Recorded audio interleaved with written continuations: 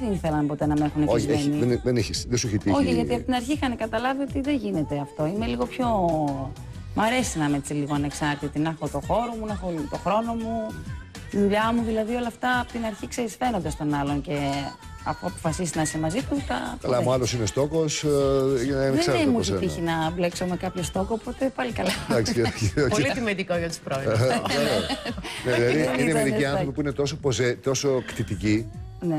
Είτε γυναίκες είτε άντρες, που όποιος και αν είσαι εσύ, καταλαβαίνεις, και έρχεται η μεγάλη. Δεν νομίζω θα μεγαλομπά. μπορούσα να μ, κάνω εύκολα χωριό με κάποιον έτσι πολύ κτητικό τύπο. Εσύ δεν είσαι είμαι ούτε κτητική. εγώ. Δεν είμαι ούτε εγώ τόσο ηθικός πολύ. συμπέρασμα, ηθικός συμπέρασμα που λέγαμε στο σχολείο